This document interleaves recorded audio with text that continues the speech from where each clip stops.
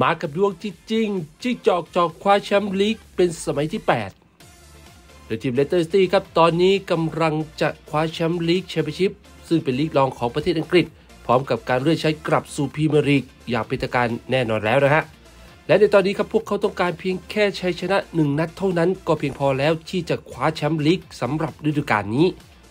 โดยผลการแข่งขันของอิปสวิชทาวน์และฮัลล์ซิตี้จบลงที่การเสมอที่ 3 ประตูต่อ 3 นั่นทำให้อิปสวิชทาวน์ครับมีแต้มตามหลังเลสเตอร์ซิตี้4คะแนน และโปรแกรมแข่งขันเท่ากันที่ 44 แมตช์นั่นทำให้เลสเตอร์ครับต้องการชัยชนะเพียงแค่ 1 เกมเท่านั้นจาก 2 เกม พวกเขาจะคว้าแชมป์ลีกทันที โดยทีมเลสเตอร์ซิตี้ครับก่อนหน้านี้การันตีการเลื่อนชั้นกลับสู่พรีเมียร์ลีกเป็นที่เรียบร้อยแล้ว หลังจากที่ลีดส์ยูไนเต็ดบุกไปพลาดท่าพ่ายกับควีนส์พาร์คเรนเจอร์สศูนย์ประตูต่อ4 ทำให้ลีดส์นั้นมีแต้มตามหลังเลสเตอร์ไปเป็น 4 คะแนน และเหลือโปรแกรมเพียงแค่ 1 เกมเท่านั้นในฤดูกาลนี้นั่นทำให้แม้ว่าลีดส์จะชนะในเกมสุดท้าย ก็จะไม่สามารถทำแต้มแซงเลสเตอร์ซิตี้ได้ แต่แม้ว่าเลสเตอร์จะเลื่อนชั้นกลับสู่พรีเมียร์ลีกอย่างเป็นทางการเรียบร้อยแล้ว แต่พวกเขายังมีภารกิจใน 2 เกมสุดท้าย นั่นคือการคว้าชัยชนะ และคว้าแชมป์ลีกให้เป็นผลสำเร็จจากนี้ไปครับเลสเตอร์ซิตี้หวังพึ่งเพียงแค่ตัวเองเท่านั้น หากพวกเขาสามารถเก็บชัยชนะในเกมที่พบกับเพรสตันนอร์ทเอนด์นะครับคือวันจันทร์ที่จะถึงนี้ ซึ่งจะแข่งขันกันในเวลาตีสองพวกเขาจะคว้าแชมป์ทันที และเป็นการคว้าแชมป์สมัยที่ 8 ของลีกแชมเปี้ยนชิพหรือว่าลีกรองของประเทศอังกฤษนั่นเองนะฮะ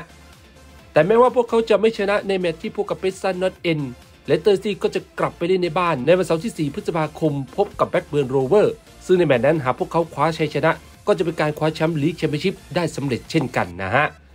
ก็ถือว่าจิ้งจอกสยามเองถือไพ่เหนือกว่าอิปสวิชทาวน์หลายขุมเลยทีเดียว แม้ว่าพวกเขาเองจะฟอร์มไม่ดีในหลายเกมที่ผ่านมา แต่ในช่วงท้ายฤดูกาลครับ พวกเขาก็สามารถงัดฟอร์มการเล่นอันยอดเยี่ยมออกมา และคว้าชัยชนะ บวกกับคู่ต่อสู้อย่างลีดส์ยูไนเต็ดและอิปสวิชทาวน์ซึ่งพลาดใน2อสเกมที่ผ่านมานั่นทำให้พวกเขาไม่สามารถทำแต้มแซงเลสเตอร์ซิตี้กลับไปยึดจ่าฝูงได้นะฮะอะก็ถือว่าพวกเราเองกำลังจะบรรลุเป้าหมาย ในการทำภารกิจการแข่งขันฟุตบอลลีกแชมเปี้ยนชิพฤดูกาลนี้ ถ้าการเลื่อนใช้กลับสู่พรีเมียร์ลีกและก็การคว้าแชมป์ลีกในครั้งนี้ให้ได้นะฮะอะก็รอติดตามกันนะครับว่าทีมที่จองสยามของเราจะทำได้ตามเป้าหมายหรือไม่ครับ